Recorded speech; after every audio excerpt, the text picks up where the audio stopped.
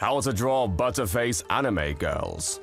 As humans, we have an idea of facial balance that looks good based on eye, nose, mouth positioning, etc. So, a good way to draw ugly people is to mess with this balance. To draw yet ugly anime girls, maintain the facial balance while using unconventional face parts. The easiest parts to mess with 1. Eyebrow shape 2. Eye shape 3. Lip thickness. Japanese authors don't like full lips very much, but they can be sexy. Harder parts to mess with 4. Distance between brow and eye. When brow and eye are close, it looks manly. 5. Mouth width, size. Large mouths can look manly. 6. Jaw shape. If the jaw is too round, it looks fat. If the jaw is too square, it looks manly. By combining non-cute facial features but maintaining the balance of the face parts, we can design girl characters that aren't just anime agoo.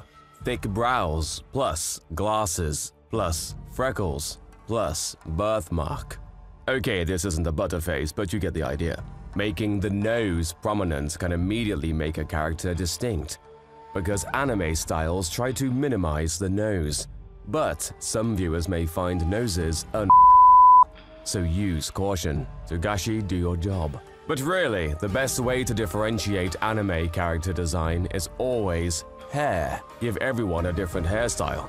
Fluffy, punk. I think these hairs are un but you may not.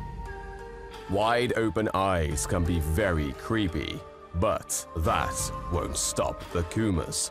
Thin eyes are often used for the kitsune face archetype, or ara ara milfs, eyes fully closed.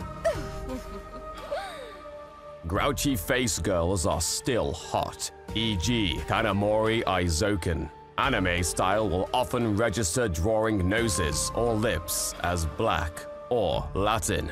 Don't get cancelled! Of course, if you don't care about ability, just slap some on her and call it a day. I'm a MILF too!